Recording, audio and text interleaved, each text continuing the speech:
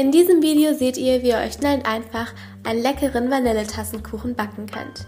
Als erstes braucht ihr natürlich eine Tasse und in die geben wir als allererstes 3 Esslöffel Mehl.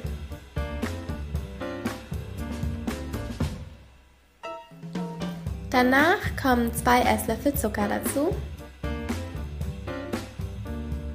Und für den Vanillegeschmack brauchen wir ein ganzes Päckchen Vanillezucker.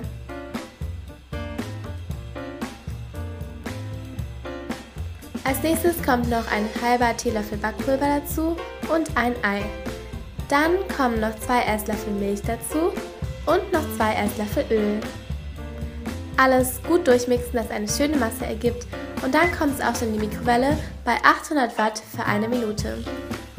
Fertig ist der Tassenkuchen. Guten Appetit!